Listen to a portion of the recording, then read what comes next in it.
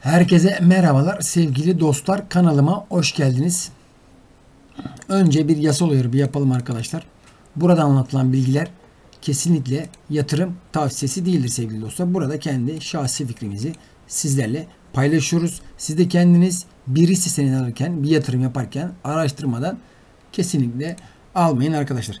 Evet hemen e, güzel bir hisse yakaladık arkadaşlar. Onunla ilgili sizlerle paylaşmak istedim.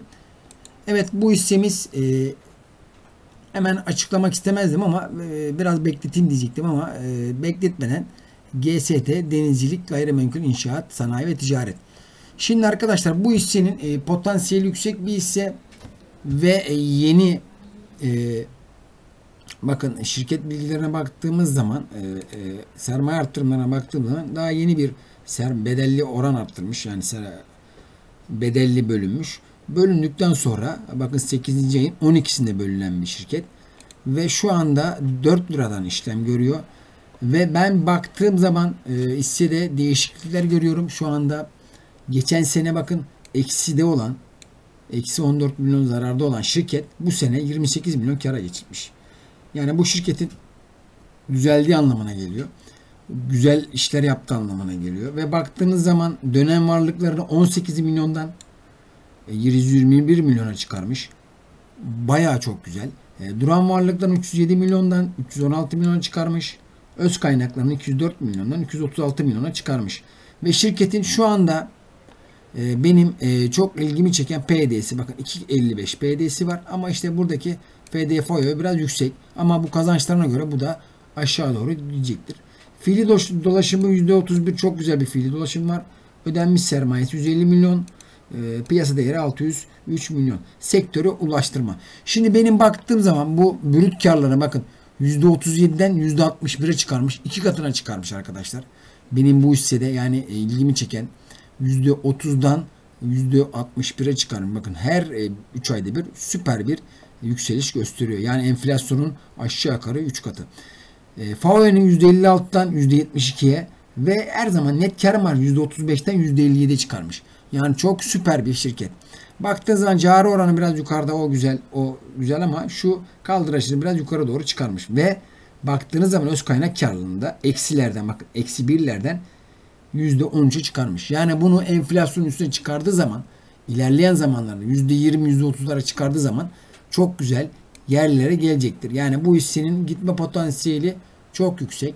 Daha yeni be, e, bedelden bölündüğü için çok da güzel yerlere gidecektir. Bakın karnesine de baktığımız zaman karlılığı 6'da 6, büyümesi 6'da 5, borçluluğu 6'da 4. Süper bir hisse arkadaşlar. Ben bu hisseyi e, finanslarına baktığın zaman, borçlarına baktığın zaman e, dönem varlıklarına bakın e, arttırmış ve bu, bu son bilançoda anormal bir şekilde arttırmış ve bu şirket e, ilerleyen zamanlarda tabii ki 3 ay 4 ay belki yıl sonu çok güzel yerlerde görebiliriz. Hemen şuraya e,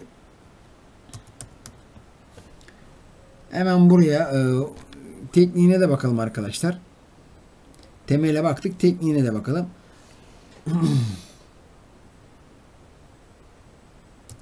Hemen tekniğine de bakalım sizlerle beraber. GSD denizcilik gayrimenkul.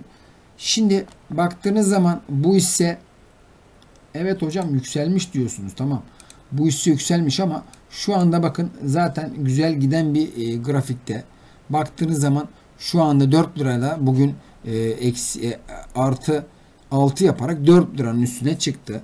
Bugün en düşük en düşük bugün neyi görmüş? 3.74'müş ve 4 liraya kadar gitmiş ve bu şirketin daha gidecek yeri çok arkadaşlar. Yani bu e, eğer bu karlılıkta giderse böyle devam ederse e, baktığın zaman daha güzel yerlere gelecektir. Bakın e, geçmiş dönemlerine bakarsak 2019'dan 0.79'lardan şirket buralara gelmiş ama bakın şurada 3.51'e kadar gelmiş. 5 Mart'ta 3.51'e gelmiş.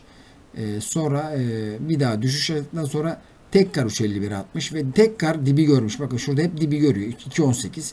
2.18'ler dip. Ve tekrardan yukarı doğru atmış. Ve şu anda ben dediğim gibi bu şirketin daha da güzel yerlere geleceğini hem gayrimenkul olarak hem inşaat sektöründe bulunan bir şirket. Bakın iştiraklarına da şuradan bakalım hemen. E, şirketin iştiraklarına baktığımız zaman GSD Holding faaliyetleri, faktörlük hizmetleri, e, yatırım bankası, bankacılık ismi e, var, vakıf var, denizcilik var. E, ondan sonra e, yine bir denizcilik, çoğu denizcilikle geçen bir sektör arkadaşlar. Havacılık bile var yani GSD havacılık. Yani e, baktığınız zaman e, hissenin ama onlarda şu an şirketin sermaye payı e, tabi onlar tam görünmüyor. Evet. Onların yok arkadaşlar. Dediğim gibi şu anda denizcilik olarak 1, 2, 3 tane iştirakı var. E, ve burada bir tane GSD faktörlük var. Faktörlük şirket olarak. Yani baktığınız zaman GSD'nin şu andaki bakın çeyrek satışları 36 milyonluk bir kar getiriyor. Ve ileride bu karları katlarsa daha güzel yerle 5 katına 10 katına çıkma potansiyeli var arkadaşlar bu şirkette. Ufak ufak oralara doğru gitme potansiyeli var. Evet ikinci şirketimde arkadaşlar e, ikinci şirketimde 5 kat 10 kat gibi Cela e, Çelik Alat Sanayi. Çelik Alat'a da baktığımız zaman son bilanço 167 milyon geldi. Bunun da son bilançosu çeyrek satışları çok güzel geldi. Baktığın zaman net dönem kar 182 milyon. Geçen sene e, zarardaymış bu sene kara geçmiş. Ama şurada şöyle bir detay var. E, benim e, ilgimi çeken bakın brüt karı 44 milyondan 182'ye düşmüş. Burada niye düşmüş bu kadar? E, onunla ilgili e, burada bilançoda baktığımız zaman e, gelir tablosuna bakalım. E, peşin giderler, diğer alacaklar, ticari, finansal yatırımlar. Evet yatırımlara gitmiş. Çoğu şeyi yatırımlara gitmiş. E, ve oralarda kullanmışlar. Gelir tablosuna baktığımız zaman e, bakın e, yönetimlerinin giderleri de çok. Bakın 10 milyonluk bir yönetim gideri var. Yani brüt e, karı 44 milyondan 10 milyon e, bakın 10 milyon e, genel yanın e, yönetim giderleri 18 milyonda pazarlama satış ve giderleri e, 1, e, 1 milyonda araştırma geliştirme giderleri. Yani bunun giderleri çok arkadaşlar. Şirket çok güzel kar yapmasına rağmen giderleri fazla göstermişler. E, karnesine baktığımız zaman da karlılık altta 6, büyüme altta 4, borçluluk altta 1. Yani şirketin güzel bir şirket bu da. E, bakın e, dönem varlıklar 229 milyon 281 milyona, duran varlıklar 78'den 82 milyona ve öz kaynaklarına 46 milyondan 49 milyona çıkarmış. Yani baktığımız zaman burada sadece bunun e, dediğim gibi şuradaki e, brüt kar marjlarını %15'ten biraz daha enflasyon üstüne çıkarttı. Çok güzel olacak. E, enflasyonun altında bakın %7 yapmış FAVÖK ve e, şu anda net kar marjı çok düşük. Baktığınız zaman öz kaynak karlılığı da eksi 19'dan eksi e, 19'dan 10'a artı 10'a çıkarmış. Bu güzel. Artı.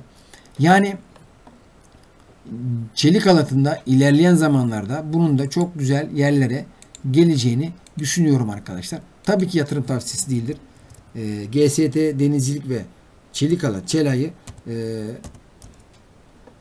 kendiniz de araştırıp öyle alın arkadaşlar. Yani kimse araştırmadan bir yatırım yapmayın. Yani ben baktığım zaman şu anda güzel bir potansiyel görüyorum. Bugün de güzel bir yükseliş yaptı.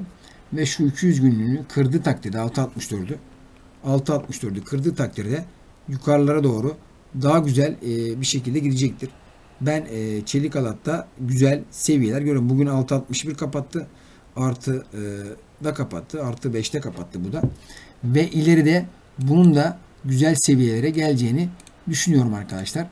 Şimdi e, siz e, dediğim gibi çelik alatında bakın şuradaki seviyesi olan 10 liralara kadar gelme potansiyeli var arkadaşlar. E, burada sizlerle iki tane hisse paylaştım. Bunları 5 kat 10 kat gitme potansiyeli olan hisseler. E, siz de kanalımı beğeni, abone olup ve bildirim zilini açarsanız böyle fırsatlardan siz de faydalanabilirsiniz arkadaşlar. Herkese bol kazançlar diliyorum. Kendinize iyi bakın. İyi akşamlar.